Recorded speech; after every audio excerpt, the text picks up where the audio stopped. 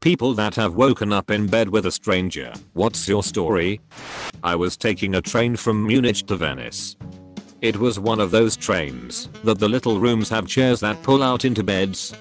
A older Italian gentleman came in the room, and as the train took off he made the sleep hand gesture. So I crashed out with this old dude. I woke up to him tapping me letting me know we will be in Venice after the next stop. That's nice of him. Were you able to get to Venice? Super nice. He gave me a card with a number to call for a place to stay if I couldn't find my friends in Venice. Side note as soon as I got to the train station in Munich two Germans walked up to me and said you look lost. Where are you going? They helped me buy my ticket and walked me to my train even. People are nice man. A German dude in a business suit convinced my wife and I to cut the entire security line in the Dusseldorf airport because we were about to miss our flight. We are thick and had just sprinted through a pretty big airport. The entire line of probably 40 other people were just fine with it. The security officer asked us why we had cut the line, to which I replied we are about to miss our flight. He replied with a smile and ushered us through the checkpoint get you killed by that Savin JFK. Our flight was delayed an hour. Dank. By the way guys, if you are enjoying this video so far, don't forget to like this video and subscribe to the channel. It will help us out quite a bit, and if you don't enjoy the videos in the future anymore, you can always unsubscribe. Let's get back to the video. I was around 19 years old and at a weekend festival where most people camped out in tents. I got hammered and blacked out on Saturday and woke up on an air mattress in somebody else's tent. I sat up to get my bearings at some point in the morning and a couple was also in the tent, but not laying on the air mattress. The guy sat up right after me and said buddy, I don't know who you are, but you better get out of here. I didn't stick around to ask any questions. Once went to a festival with some mates. One got blackout drunk and collapsed in the middle of the circle we'd made with the tents. He was a big dude with a massive beard at the time.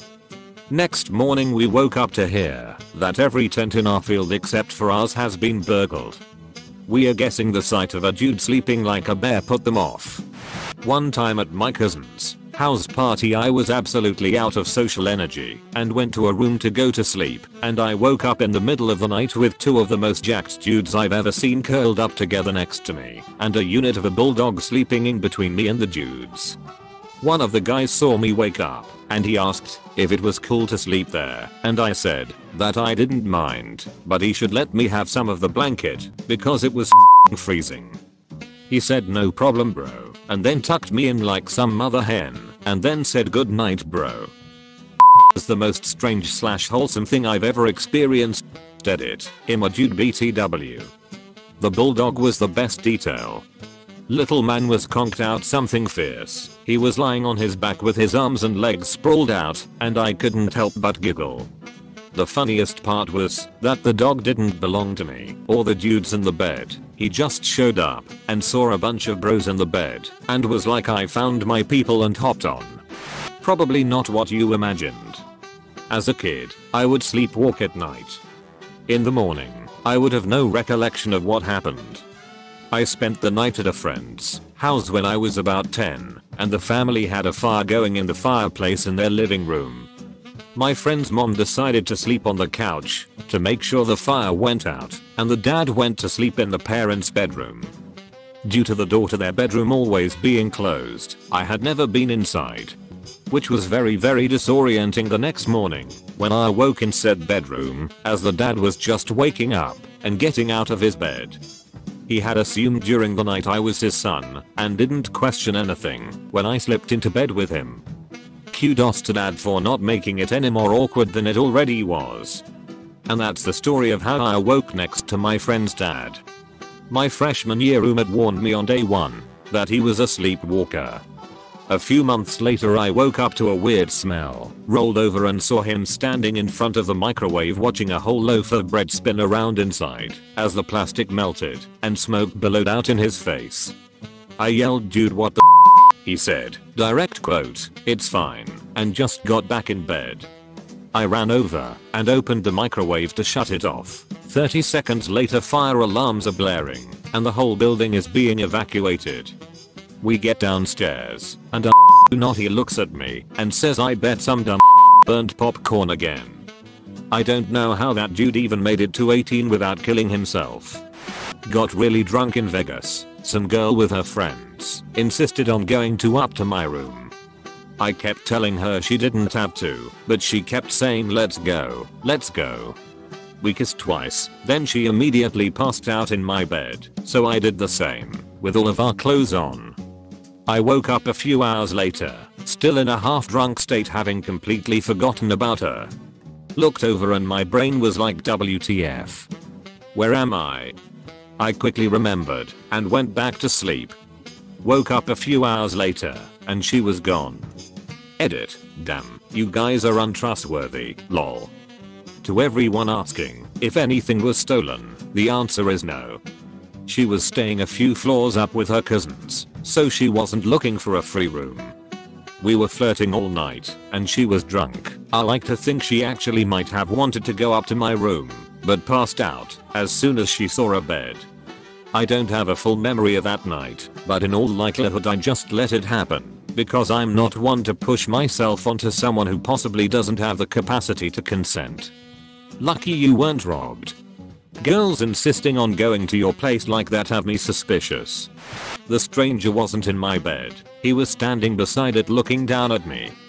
He had not been in my apartment when I went to bed. He had broken in and apparently spent quite a bit of time in there before entering my bedroom. He'd broken in through one door and created an exit for himself that took him past the door he'd entered through and out through our other, almost never used, door. I chased him out, but lost him in the alley behind my building. The police believed that my reaction saved me from assault and possibly from abduction. Unfortunately they never caught the guy. How did you react when you noticed him? It took a moment to really realize what was going on. Then the adrenaline kicked in. I jumped up and lunged for him, fully intending to beat the out of him if I got hold of him, but he was faster and had shoes on, which was a definite advantage once I got outside. It wasn't until I was speaking with the police that I really understood how much danger I had been in.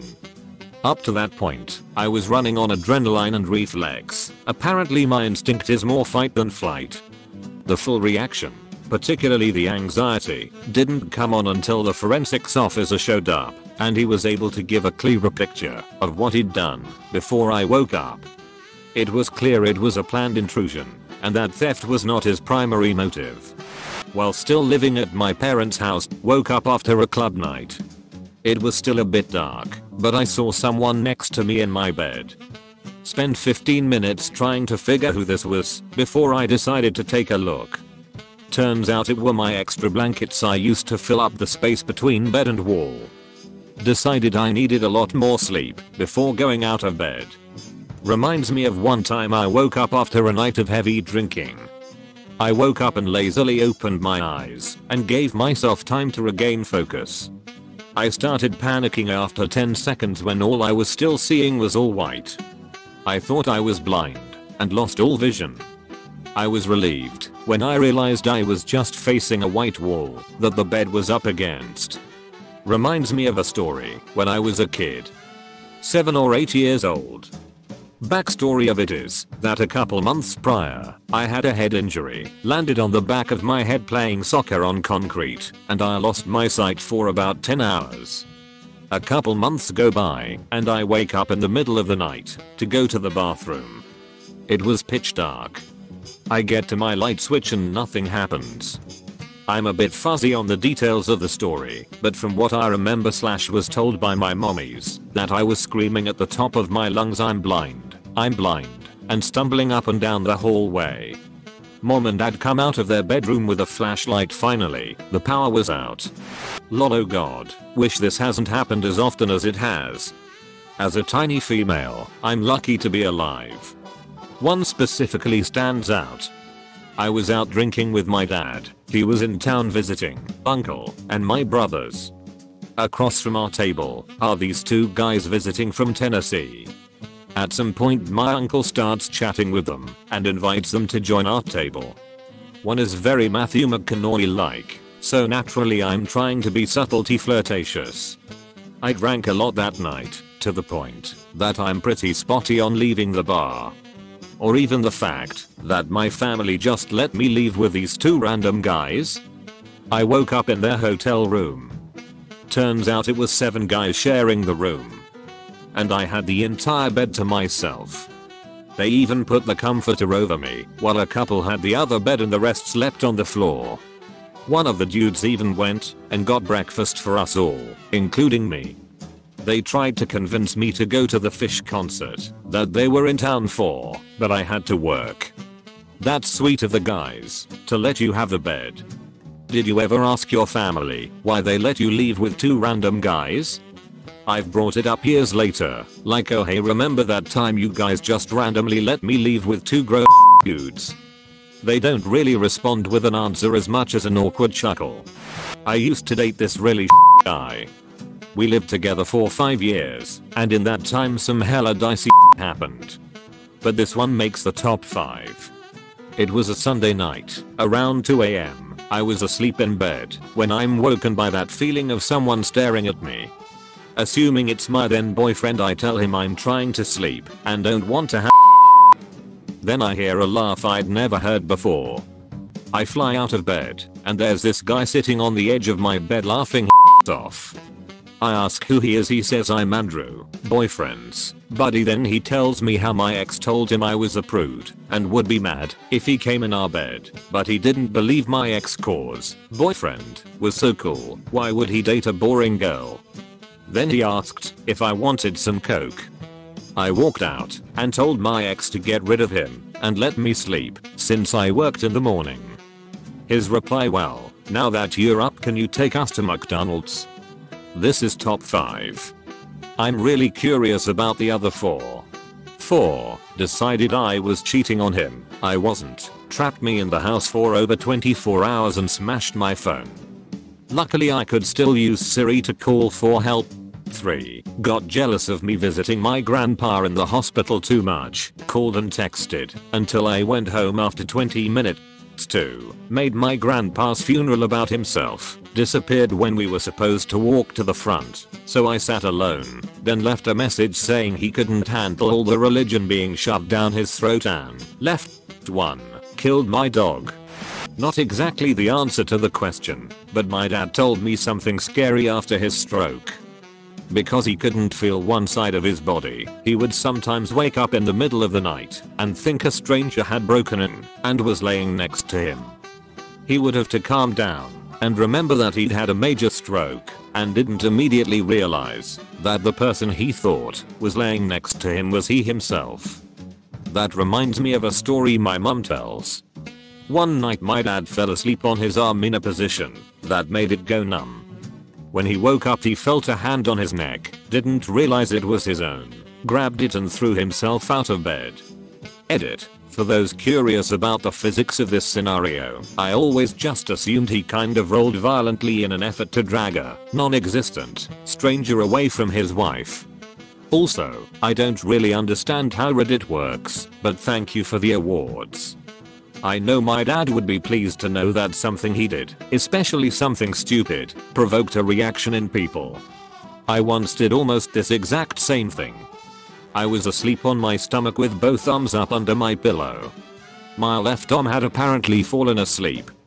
Half awake and half asleep I moved enough so that my right hand touched my left hand which didn't feel like it belonged to me. What the is this dead hand doing underneath of my pillow is a hell of a way to wake up. LMAO this has happened to me multiple times because I black out really easy, but the crazier of times goes like this. I was 21 M and had just got into a fight with my GF in front of her whole family at their Christmas party. We were both drunk and we broke up for the fourth and final time that week. I stormed out without my house keys or wallet or phone I had drank an entire handle to myself at that point. Walked to the local bar about 2 miles away and realized I didn't have any money, but I did remember my cigarettes which I used to trade for more shots. Next morning I was naked in bed with a couple twice my age over 40 miles away from my apartment. They said nothing happened, you just cried a lot, and said you didn't have a place to go, so we took you in and cuddled. The boyfriend drove me to work, and I moved out of state the next week. Edit, my bad guys, I typed handle but meant liter. Sorry to rile you up. And yes, that's still valid. I'm happy to report this was almost a decade ago, and I no longer drink that much anymore, and very rarely get myself into such chaotic situations, but thank you for the concern. I was in college staying near campus, and decided to go to a frat party. I decided to walk home before the liquor kicked in too much. By the time I got home I was blacking out. I barely made it. Got to my bed and passed out. Didn't even take my shoes off lol. I woke up off and on throughout the night feeling some person next to me. I figured it was a girl I had been dating. She'd come over if she got scared at night or some to sleep at my place. I never thought much of it. She cuddled me that night and it felt amazing. Guys love being the little spoon sometimes. The sun woke me up and I decided to go pee. I remember having to step over her to get out the bed losing my balance cause I was still drunk. I go pee, come back, and notice this is not the girl I'm dating. Also she's in bra slash panties. F asterisk asterisk asterisk. I then notice I only have boxers on. Don't remember getting undressed. My clothes are folded on my computer chair next to a half-eaten grilled cheese. I immediately go to my roommate's room to ask who TF she is. He's in bed with his girl. I woke him up, and he said the girl claimed she knew me. I was afraid. I go back to the living area until she wakes up. Apparently she didn't have a ride home, and since she stayed far I drunkenly offered her a place to crash. She helped me walk home, unlocked the door for me cause I was out of it, undressed me, and folded my clothes. Then she made me grilled cheese cause I was drunkenly begging for one. I ate half of it and laid down. Initially she was on the couch, but said I was calling to her loudly like a banshee lol. She cuddled me until I feel asleep then she feel asleep lol. I was embarrassed and thankful. She took care of me lol. I took her home and we laughed about it. We stayed friends for a long time. Hung out more than a few times. We were never more than friend because I was already dating someone Sometimes I wonder if she was the one for me. IDK how we lost touch. I don't even like grilled cheese. After my father's death his sisters asked my family to spend a summer weekend with them at a beach resort town. It ended up being the vacation from hell for many reasons, but this is the part that fits the prompt. The aunts didn't tell us they were bringing their extended family. So we had 13 people crammed into a one bedroom condo. Most of us slept on the living room floor, which was also the dining room and kitchen. On Saturday night my teenage cousin stayed out late, while the rest of us returned to the condo and went to sleep. The next morning we woke up to find a 14th person in the condo, a guy in his late teens to early 20s.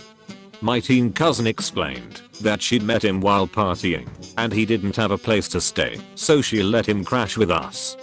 She let a complete stranger into the room where her grandmother, mother, sister, aunts, and cousins, two of whom were children, were sleeping. Her side of the family shrugged it off, but my side was livid. We've never spent a vacation with them again. I blacked out, woke up naked on a toilet. I go to flush the toilet, the handle isn't where it should be. I look around, this is not my apartment. My phone and clothes were on the floor, but my phone was dead. I had literally just moved to this town the day before. I didn't even know my new address, so without a phone I was stuck in this apartment. I left the bathroom, looked in the living room, and found four girls passed out all along the couches, didn't know any of them. What the hell did I get myself into last night? I go open the closest bedroom door, don't know that girl either. From what I remember, it was the first Friday of a new internship and all the interns went out drinking. I open up the final door and I see this girl that I recognize from the internship. She had seemed like she was into me this week, and I remember her being involved with many shots. I wasn't exactly keen on being involved with the girl, but considering how drunk I was, I wouldn't put it past myself doing something like this. I decide that I'm far too intoxicated to make any other move right now. I climb into bed with her and hope that I made the right call. Morning comes and she seemed cool with everything, so I sighed with relief and asked her for a charger and a ride home. My family own a big farm in Queensland, Australia, and it's mostly just untouched bushland, but we lease the area out to a cattle producer. Since we have breeding land we have a lot of calves every couple of years and there is a feral dog population that hangs around trying to pick off the calves. So I go around every few weeks or so and do a several day hunting trip just walking around. It was in the middle of a drought, so I couldn't light a fire, so I just slept in a sleeping bag under a tree in an area I knew pretty well. It was a randomly cold night in summer, so I was happy to get rugged up I woke up in the morning with my left leg feeling really tight and I tried to shimmy my pants down in the sleeping bag because I thought they were just tangled up a bit. I felt something odd, so I unzipped the sleeping bag and there was a red belly black snake wrapped around my leg having a good snooze. I was so dead tired I wasn't even freaking out. I just tapped it awake and said hey mate can you leave and it released my leg and just buggered off. I should have been way more scared at the time, but I was destroyed from the day before. I took a year off from school and was working in Shanghai. I went through a bad period and for about 2 weeks was waking up in a different apartment with a different girl each night. We went to karaoke one night with a big group and it just snowballed from there. I only remember flashes like riding in a taxi with a girl and then going into her place, no idea what her name was or who she was. I remember stumbling alone on the street to the subway at like 1am, trying to beat them closing and failing. No idea how I got home that night. Honestly, it was incredibly eye-opening afterwards, and I realized how dangerous it was. I still don't remember a lot of that time frame, and I'm not sure I was sober more than a minute during it. Since then I completely stopped drinking and got my life together. I don't recommend anyone do stuff like that but it really helped me turn my life around. I have a good career and family now, but I always worry about falling back down that hole. Damn son, I'm glad you're okay. That is messed up. Yeah it really wasn't a good thing. I'm lucky I made it through okay, but I've spent a lot of time trying to avoid similar situations. People always think partying forever sound of fun, but it can get pretty crazy. I drank a lot and did Xanax, so I barely remember the night before. I woke up naked in a bed. There was another guy in the bed. I presumed he was naked too because he didn't have a shirt on and the blanket covered everything below. I just got up and got dressed and left. The guy didn't even get up. I didn't want to wake him up. I was extremely confused and just figured that I guy. I had never been into men and never done anything with a guy. I was honestly freaked out. Three days later, I get a call, and it's apparently the guy, saying I left my headphones there, and that he wanted to know I got home okay. He said I dropped them on the ground when I took my clothes off in the middle of the night. I was like, what do you mean, the middle of the night?